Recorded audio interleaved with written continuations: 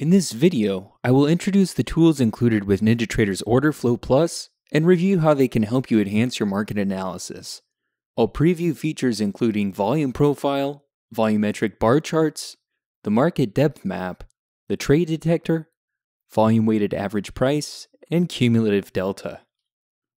The Orderflow Plus suite of charting tools helps you identify buying and selling pressure through the analysis and visualization of trade activity. Orderflow visualizations provide a view of the market auction process itself, making them powerful tools to add to your technical analysis. Volume Profile is a charting study that displays the concentration of trade volume across various price levels to help you visualize the order flow. Multiple view modes are available to help you identify significant price levels, track momentum, and find the most active trading times.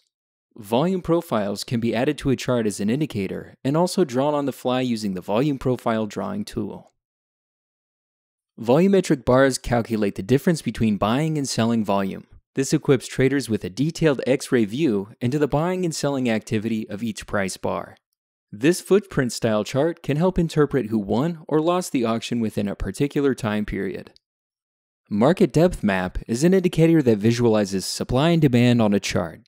Through a chronological display of trading activity plotted behind the price bars, you receive a historical and real time view of market depth. The trade detector tracks trades based on buyer or seller activity and plots circles over the price bars where considerable trading volume has occurred.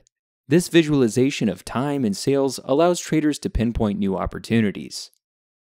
The VWAP, or volume weighted average price, is similar to a moving average but factors in trading volume at specific price levels instead of using price data alone.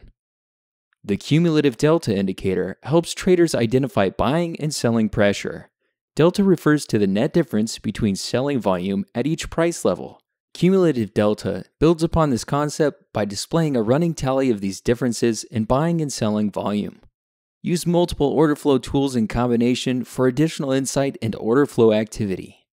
Thanks for watching. Be sure to check out more of our videos for quick tips to help you get started with NinjaTrader.